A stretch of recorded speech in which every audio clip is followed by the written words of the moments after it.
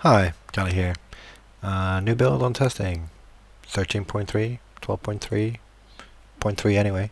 Um, there are three new abilities on the pets. Um, there is uh, Decoy, uh, Savage and Rising Fury.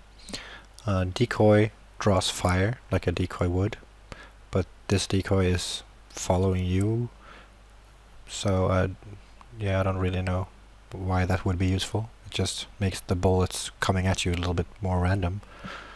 Um, yeah. Uh, then there's the uh, Savage uh, which charges the enemy. Uh, at you know, interval I assume that leveling up reduces the the interval.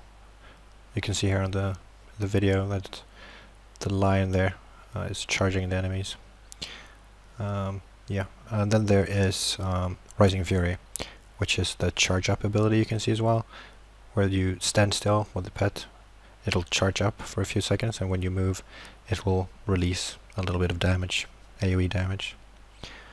Um, I think you kind of have to have the Savage in combination with uh, Rising Fury, Decoy, or Electric or something to make use of any of these uh, in any way whatsoever.